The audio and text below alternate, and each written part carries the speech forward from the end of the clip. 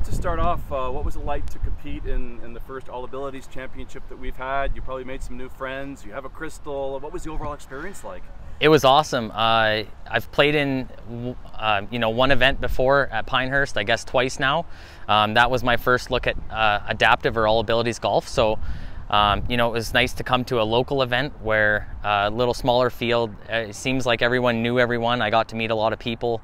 Um, you know that I'm going to see at the next championship in, in Kamloops. So, yeah, it was just all in all pretty good and, and nice to play in in what I would call like a local local atmosphere. Absolutely. Um, people competing with, with a lot of different disabilities. Uh, tell me about yours. Um, so I'm in the vision impaired uh, category, I guess. Um, I've been playing blind golf since uh, since 2017.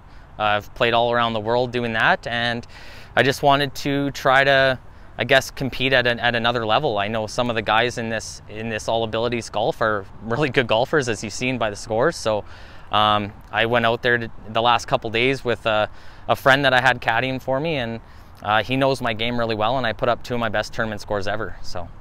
How does he help you on the golf course? What, what do you need help with? I, I think just, I mean, it's nice to have uh, confirmation on your decision making, um, whether or not you're you're making the right decisions. He knows how how how I play my game, so and he plays a similar game. So um, just I think it's more of a confidence thing, um, but also he really helps me on the greens. Um, you know, I, I, yesterday for sure there was five putts that I would have totally misread that he had, and I just had to trust that he was reading it right, and uh, I made a few more putts out there because of him. So, I guess just finally, how does it feel to be a provincial champion? It feels great. Yeah, um, you know, uh, nice to do it in in your hometown too. So it's hard to win golf tournaments, right? It's hard to win golf tournaments, yeah. So, uh, especially you know you're coming down the end and, and you don't know where you're sitting, and you're not sure how everyone else is playing, just the guys in your group. So, you, you know, we just stuck to the game plan, and that was just try to make a par every hole. So.